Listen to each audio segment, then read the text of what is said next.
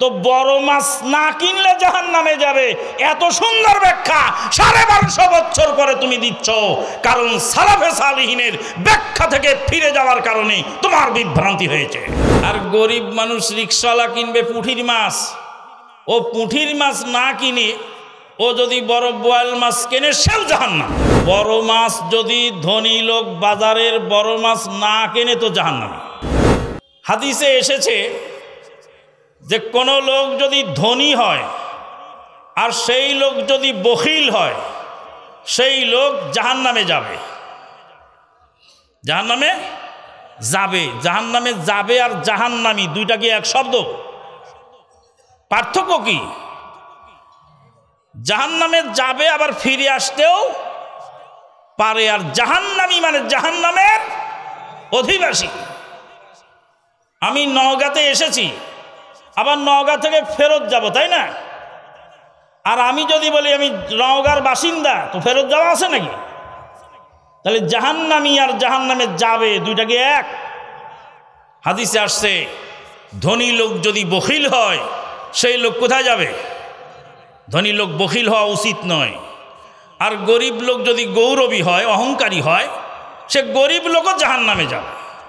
তো বেটা ধনী লোক না হয় গৌরব করল করতেও পারে। তোর টাকা নেই, পয়সা নেই, তুই গৌরব করিস কেন? তাহলে ওই জন্য শাস্তি বেশি। হাদিস তো এটা নাকি? এক আলেম সাহেব এই হাদিসের ব্যাখ্যা করে ফতুয়া দিচ্ছেন, বড় মাছ যদি ধনী লোক বাজারের বড় মাছ না কেনে তো জাহান্নামে। আর গরিব মানুষ রিক্সাওয়ালা কিনবে পুঁঠির মাছ। ও পুঁঠির মাছ না কিনে, ও যদি বড় বোয়াল মাছ কেনে, সেও জাহান্নাম। তাহলে মহা মুশকিল হয়ে গেল। হাদিস রইল এক জায়গায়, ব্যাখ্যা হইল আর এক জায়গায়। সম্মানিত উপস্থিতি, এই যে এইভাবে অপব্যাখ্যা, এটাকে কি বলা হয়? অপব্যাখ্যা। যতক্ষণ পর্যন্ত কোরআন হাদিসের ব্যাখ্যা সালাফে সালেহীন থেকে না নেবেন, যতক্ষণ পর্যন্ত সালাফে সালিহিনের বুঝ অনুযায়ী হাদিস না মানবেন, বিভ্রান্তি থেকে বাঁচা বড় কঠিন। কোরআন হাদিস খারিজিরাও মানে কোরআন হাদিস কাদিয়ানিরাও মানে কোরআন হাদিস হুলুলিরাও মানে কোরআন হাদিস এত্তেহাদিরাও মানে কোরআন হাদিস ভ্রান্ত ফেরকার সবাই মানে। কিন্তু সাহাবায়ে কেরামের বুঝ অনুযায়ী কোরআন হাদিস একমাত্র আহলাদিসরা মানে আর অন্য কেউ মানে না। কেতাব সন্না আলা সালাফ। আজকে ছোট্ট একটা উদাহরণ দিই, প্রসঙ্গের আমি ইতি টানতে চাই। ছেলেকে পাঠালাম মামুর কাছে, গিয়ে বললাম, তোমার মামুর কাছে টাকা নিয়ে আসো। বলে, আব্বু, টাকা দিতে বলেছে দশ হাজার। ছেলের মামু, ছেলের মামুর কাছে ছেলে গিয়ে বলে, আব্বু, টাকা দিতে বলছে দশ হাজার। ছেলের মামু বলছে, তোর বাপের জন্য কি আমি টাকার গাছ লাগাইছি রে? যখন তখন চাইলেই পাবা, পাওয়া যায় টাকা। ছেলে ফিরে চলে আসে বলে, আব্বু, মামু বলছে তোর বাপের জন্য কি টাকার গাছ লাগিয়েছি? তা আমি তখন জিজ্ঞেস করলাম, তোমার মামু কি রাগ করে বলল না হাসতে হাসতে বলল? কথা বলেন। রাগ করে বললে আর হাসতে হাসতে বলে দুইটার তর্জমা কি এক? যদি রাগ করে বলে, তাহলে বুঝতে হবে টাকা চাওয়াতে বিরক্ত হয়ে রেগে গিয়ে এগুলি বলছে। আর যদি হাসতে হাসতে বলে, তাহলে রসিকতার সাথে বলেছে। হাসতে হাসতে বলল না, রাগ করে বলল, এই ব্যাখ্যা কে দেবে? কে দেবে? ছেলে কেন? ছেলে ডাইরেক্ট তার মামুর মুখ থেকে শুনেছে। তার মামু কীভাবে কথাটা বলেছে? এই ব্যাখ্যাটা ছেলে যত সুন্দর দিতে পারবে, আর কেউ পারবে না। রসুল্লাহ সাল্লামের হাদিস শুনেছে কারা? সাহাবাই কেরামগণ। সাহাবাই কেরামের পরতে তাবেই নেজাম এইভাবে হাদিস আসছে। তো এই হাদিসদের সাড়ে চোদ্দোশো, সাড়ে বারোশো বছর ধরে কেতাবে লেখা আছে যে ধনী বখিল জাহান নামে যাবে আর গরিব অহংকারী জাহান নামে যাবে। তো বড় মাছ না কিনলে জাহান নামে যাবে। এত সুন্দর ব্যাখ্যা সাড়ে বারোশো বছর পরে তুমি দিচ্ছ। কারণ সালাফে সালিহীনের ব্যাখ্যা থেকে ফিরে যাওয়ার কারণে তোমার বিভ্রান্তি হয়েছে। ওই জন্য আরব দেশের আলেমুলামা বলেন, কিতাব সুন্না আলা ফাহামে সালাফে হাদিল উম্মা। কেতাব সুন্নাকে মানতে হবে সালাফে সালেহিনের বুঝ অনুযায়ী। অনেক কথা আছে, শেষে আর একটা হাদিস বলে শেষ করছি। মানে হুদাই বিয়ার যেদিন সন্ধি লেখা হচ্ছে, সোহাইল বিন আমর এসে রাসুলুল্লাহ সাল্লাহ সাল্লামের সঙ্গে সন্ধি চুক্তি করলেন।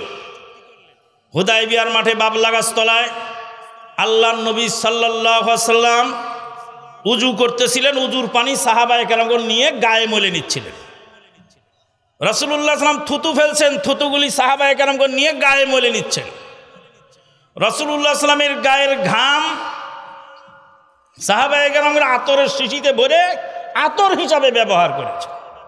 হুদাই বিয়ার মাঠে রসুল্লাহ সাল্লাম চুল কামালেন ডান সাইডের অংশ আগে। এই চুলগুলি সাহাবিদের মধ্যে ভাগ করে দিলেন।